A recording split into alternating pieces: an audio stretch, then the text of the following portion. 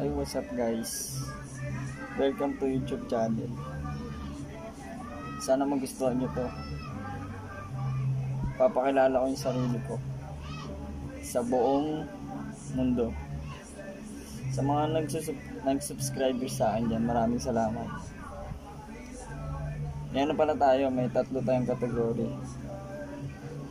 Content ko dito, ipapakilala ko yung sarili ko. Pangalawa, bakit ko ginagawang mag-vlog. Pangatlo, bakit ako nag-vlog. First muna tayo, first. Ang first, ako pala si Russell M. Antinor. Nakatira sa La Huerta, La Huerta, sa La Huerta ng Paranaque. At ilang taon na ako? 23. Magte-24 na sa November. Nakatapos po ako ng 2 years 2 years na college. Vocational na lang yun. Kaya tumigil ako. Gusto kong magtrabaho at mabili ko yung gusto ko. Nakamit ko naman yung gusto ko, motor. Pero mag-iipon pa rin ako para mapagpatuloy ko yung mapagpatuloy ko yung pag-aaral ko. And apat kami magkakapatid. Pangatlo ko. Yung isa yung panganay namin, fourth year graduate lang, hindi na nag-aral. Nagtrabaho na.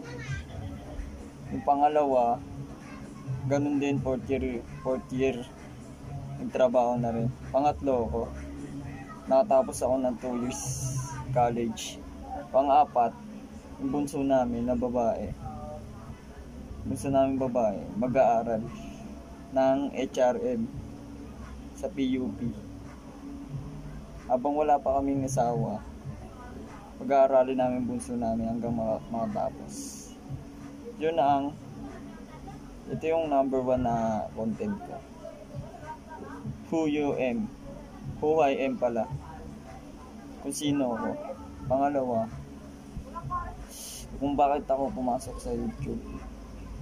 Pumasok ako sa YouTube kasi na-inspire ako sa lahat ng bag, brag, vlogger katulad ni Zainab, Kong TV, tsaka si Doggy, and marami pang iba, marami pang ibang vlogger na na-inspire ako.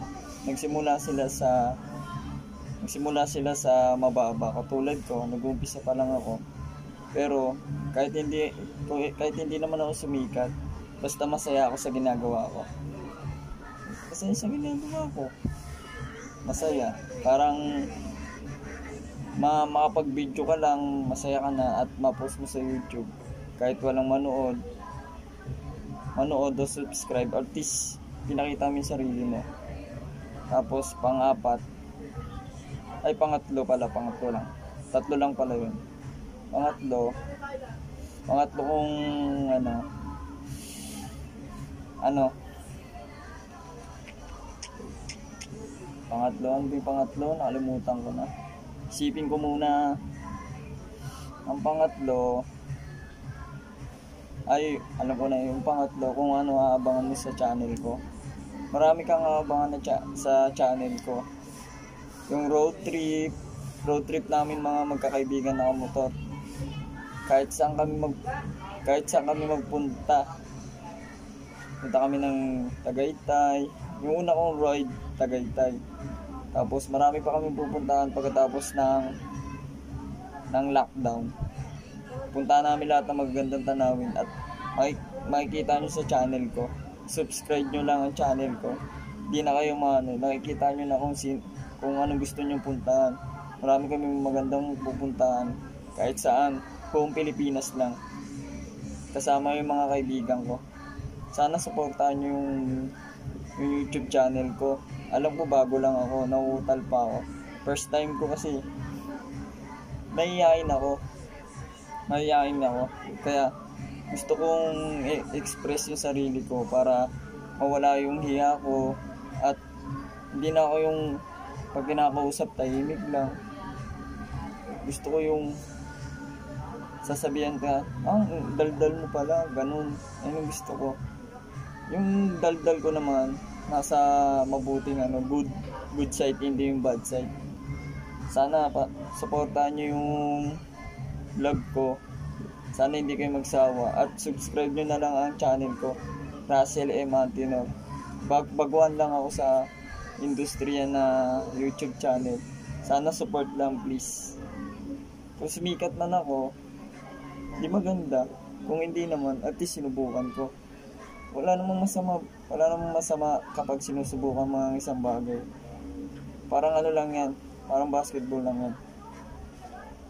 Matalo manalo, at least at least nila, nilabanan mo yung dapat labanan, sinubukan mo para sinubukan mo manalo. Kung hindi ka naman nanalo, okay lang, at least binigay mo yung best mo.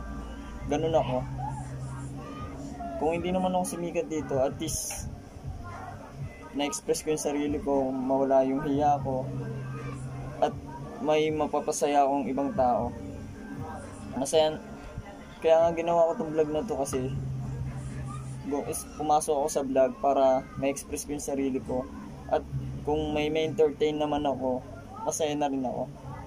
At marami pa akong marami pa akong mailalabas sa vlog na to. Ito yung pangalawa kong vlog. Yung una, Tagaytay.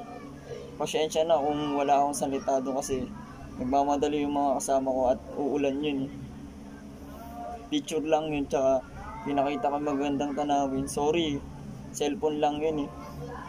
Wala pa akong material na material na magagandang pambablog eh. Kasi wala pa tayong pera, wala pa tayong budget. Ako naman, simpleng tao lang, nagtatrabaho lang din. Kaya sana supportahan niyo yung vlog ko na to. Mahal na mahal ko yung, mahal na mahal ko kayo lahat.